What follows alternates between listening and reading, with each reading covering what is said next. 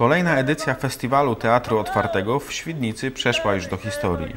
18. edycja imprezy stała, jak zawsze, na bardzo wysokim poziomie artystycznym. Aż żal, że na kolejną jej odsłonę czekać będziemy musieli cały rok. Festiwal Teatru Otwartego to wspaniała impreza, która każdego roku przyciąga ogromne tłumy widzów. Tegoroczna, 18. już edycja cieszyła się wielką, niesłabnącą popularnością zarówno wśród mieszkańców Świdnicy, jak i osób przyjezdnych z odległych miast. Teatr otwarty pachnie fajną atmosferą, rodzinnym klimatem i przede wszystkim zabawą, zabawą teatralną, bo Festiwal Teatru Otwartego ma na celu przede wszystkim super kontakt z ludźmi, kontakt teatru z ludźmi, bo zazwyczaj Państwo musicie wejść do teatru, żeby obejrzeć przedstawienie, żeby spotkać się z aktorami, a tym razem to teatr wychodzi do Was. W tym roku organizatorzy przygotowali wiele spektaklów, którym towarzyszyły wernisaże oraz wykonywane monodramy. Na scenie w rynku i teatrze zaprezentowali się m.in. Ale Heca, Teoria Względności, Teatr Nikoli, kabaret Grupa Żywy Teatr, Kolabo oraz Teatr Voskresinja. Widowiska przeznaczone były w tegorocznej edycji głównie dla dzieci, dlatego też one właśnie stanowiły większość publiczności. Z dnia na dzień przybywało widzów, którzy to na wszystkich pokazach reagowali z wielkim entuzjazmem. Oj, no to krzycz, ogonie wróć. Ogonie wróć! Ale nie, nie, nie, krzycz, krzycz na całą paszczę. Ogonie wróć. Ogonie wróć! Ale tak z głębi serca on musi wiedzieć, że ci zależy. Ogonie wróć. Ogonie wróć!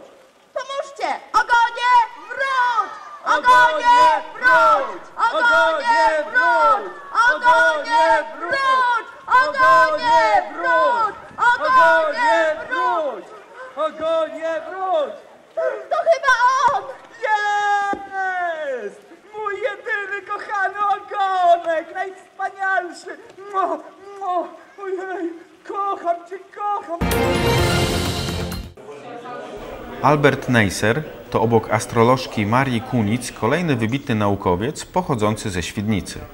Lekarz, podróżnik, kolekcjoner doczekał się wystawy swojego imienia w Muzeum Dawnego Kupiectwa w Świdnicy.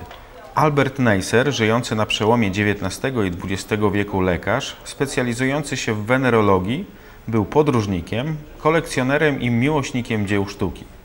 Mało kto wie, że urodził się w Świdnicy. Teraz możliwym jest zapoznanie się z jego życiem i dokonaniami. Wystarczy tylko odwiedzić wystawę jemu poświęconą w Muzeum Dawnego Kupiectwa w Świdnicy. 3 lipca Muzeum Dawnego Kupiectwa zaprosiło na wernisaż wystawy poświęcony właśnie jemu.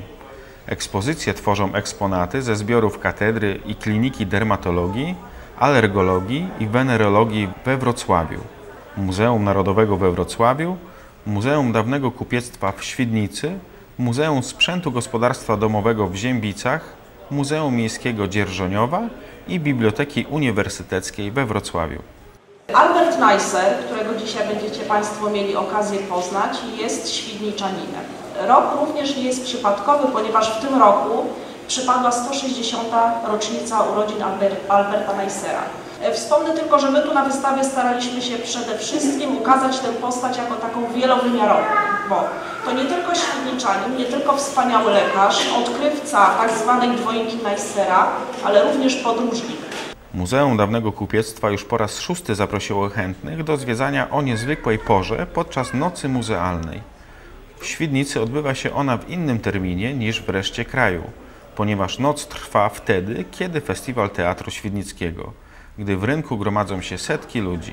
Wystawa Albert Neisser, świdniczanin, profesor medycyny, kolekcjoner, będzie gościła w Świdnicy do połowy września. Kaszanka. Dobro i znak rozpoznawczy Boleścina doczekała się swojego święta. Za nami pierwsze boleścińskie święto kaszanki. Zapewniamy, było bardzo smacznie.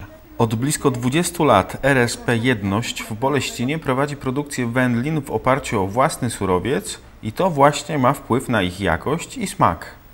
Boleścin słynie ze swojej wybornej kaszanki, której to postanowiono nawet przyznać własne święto. Kaszanka to znak rozpoznawczy Boleścina. Produkowana jest tam od blisko 20 lat, a w 2008 roku zdobyła perłę w konkursie Nasze kulinarne dziedzictwo Smak regionów. Kasianka jest to jeden z wielu produktów, które produkuje Rolnicza Spółdzielnia Produkcyjna Jedność w Boleścinie, ale akurat ten produkt został w 2008 roku wyróżniony nagrodą ministra rolnictwa. W ramach festynu odbyły się także kolejne zawody organizowanego przez ludowe zespoły sportowe cyklu Sportowe Weekendy na Wsi. Tym razem mieszkańcy pobliskich wsi mierzyli się ze sobą podczas turnieju łucznictwa. Na starcie stanęły drużyny z 22 sołectw gminy Świdnica. Wygrali łucznicy z Komorowa przed Lubachowem i Burkatowem. Bawimy się na kolejnej, szóstej już imprezie tegorocznej w ramach sportowych weekendów, to gdzie gości nas Boleścin. To jest strzelanie z łuku, jak, jak widzimy. Bardzo fajna konkurencja, nieco taka egzotyczna, jeżeli chodzi o nasze środowiska, dlatego że te łuki no, nie są tak popularne. Jest to typowa, wyspecjalizowana, kilka klubów w kraju praktycznie się tym zajmuje. Jaki poziom reprezentują sołectwa? No powiedzmy sobie, nie mogę powiedzieć inaczej, bardzo wysoki poziom strzelecki jest, także w ogóle postawa elegancka, co widać na załączonym obrazku. A jakie jeszcze atrakcje miały miejsce tego wyjątkowego dnia w Boleścinie? Serwowano tam oczywiście kaszankę w wielu postaciach. Furorę robiła kaszanka z grilla oraz kaszankowe kieszonki. Odbyła się też loteria fantowa, podczas której wygrać można było odkurzacz. Były też dmuchane zamki dla najmłodszych oraz popisy taneczne młodych mieszkańców Boleścina.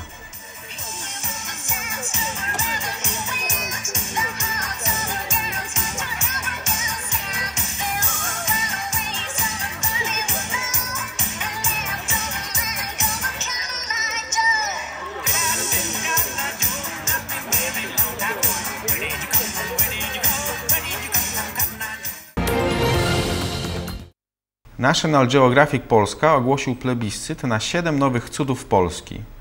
Wśród 16 nominacji znalazł się Kościół Pokoju ze Świdnicy. Godnym podkreślenia jest fakt, że jest to jedyny obiekt z Dolnego Śląska. Jednym z obiektów sakralnych, jakie w tym roku mogą trafić do grona siedmiu nowych cudów Polski, jest barokowy Kościół Pokoju w Świdnicy. Ten największy drewniany kościół w Europie został już wpisany na listę Światowego Dziedzictwa Kultury UNESCO. Świątynia należy do świdnickiej parafii kościoła ewangelicko-augsburskiego. W jej wnętrzu można podziwiać ołtarz z 1752 roku i barokową ambonę zdobioną scenami biblijnymi oraz alegoriami wiary, nadziei i miłości, jak również stropy ozdobione malowidłami ukazującymi sceny z Apokalipsy świętego Jana. Oprócz obiektów sakralnych w plebiscycie nominowano również m.in. zamek w Kurniku, pałac Radziwiłłów, dom urodzenia Fryderyka Chopina w Żelazowej Woli czy Filharmonię w Szczecinie. Na wybrane obiekty można głosować do 22 września przez stronę internetową www.7cudów.national-geographic.pl. Na głosujących w plebiscycie czekają cenne nagrody.